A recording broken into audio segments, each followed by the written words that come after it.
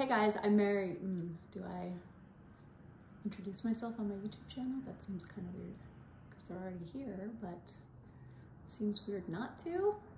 I don't know. This is already going really well.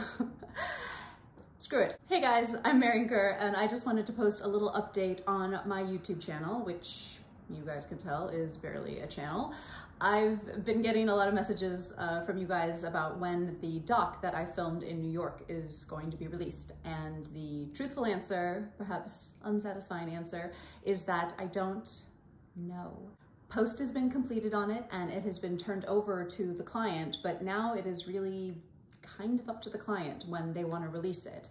Uh, I think I talked about this a little bit in the last update I did last summer after we wrapped and you, basically the job was a work for hire job that David and I got from the science documentary. So it's not, the content is not ours once it is completed. We have to turn it over to a client and then they can release it whenever they want. So again, I know it's not the dream answer, but we just don't really know. Once it's done, it's just off it goes and they release it whenever they want to release it. But I did post some stills from the completed film on my Instagram.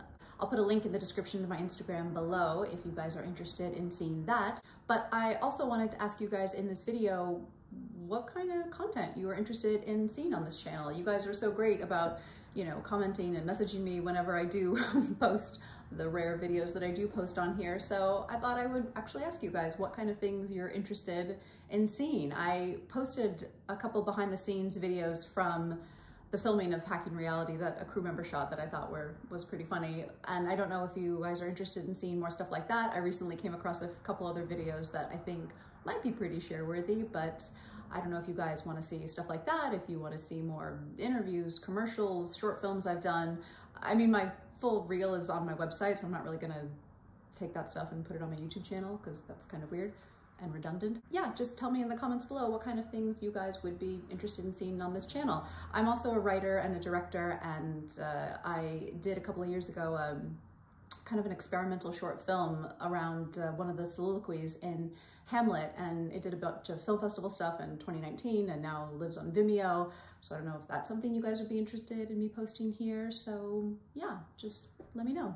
Also, I'm going to be filming something next week, which I'm really excited about. I mean, I'm always excited to film things, but even more so during COVID times because, but the subject matter of this film is particularly interesting, so I look forward to sharing that with you guys.